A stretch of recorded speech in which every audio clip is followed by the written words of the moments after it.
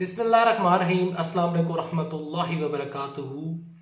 سعودی عرب کے چار شہروں میں قیامت ٹوٹ پڑی۔ ان چار شہروں میں کرونا کے مریضوں میں ہو شربہ اضافہ۔ یہ چار شہر کون سے ہیں؟ مریضوں کی تعداد کتنی ہے، اس ویڈیو میں ڈسکس کروں گا۔ لیکن ڈسکس کرنے سے پہلے، آگے بڑھنے سے پہلے، اگر آپ سعودی عربیہ کی، پاکستان کی اور دنیا کی تمام نیوز جاننا چاہتے ہیں، تو اس چینل کو سبسکرائب کر لیں اور سال اگے نوٹیفیکیشن بل آئیکن بٹن کو دبا لیں۔ سعودی عرب میں کرونا وائرس کا وار تیز ہو چکا ہے۔ کرونا کے سب سے زیادہ مریض کن شہروں میں ہیں؟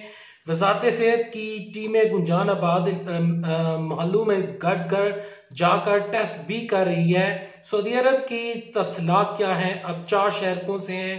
وہ میں آپ کو بتانا چاہتا ہوں۔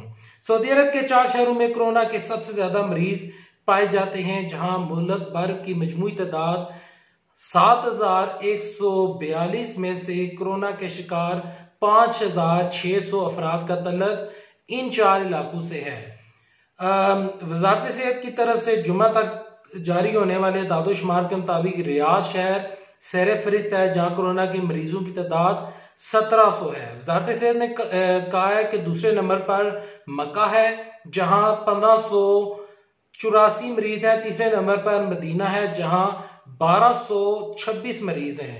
وزارت صحت نے بتایا کہ چوتھے نمبر پر جتا ہے، جہاں کرونا کا شکار افراد کی تعداد گیارہ سو بتیس ہے۔ یاد رہے کہ ترجمان وزیر صحت نے کہا تھا کہ کرونا کے مریضوں کی تعداد میں اضافہ گنجان آباد میں جتنے بھی علاقے ہیں، وہاں پر جا کر جو کرونا کے ٹیسٹ ہو رہے ہیں اس کی وجہ سے یہ اضافہ اب مزید بڑھ رہا ہے اور یہ مزید بڑھتا جائے گا اگر لوگوں نے احتیاط نہ برتی۔ اللہ نہ کرے کہ یہ چیزیں بڑھیں، اللہ کرے کہ یہ جو وائرس ہے، یہ جلد سے جلد ختم ہو۔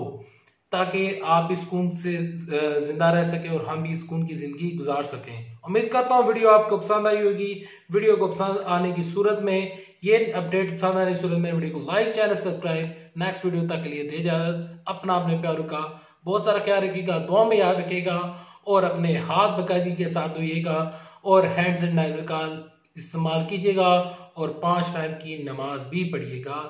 اور آگے روزے بھی آنے والے ہیں۔ روزوں میں بھی روزہ رکھنا ہے اور زکاة دینی ہے، صدقات دینے ہیں تاکہ یہ مصیبت ہماری زندگی سے ٹال سکے۔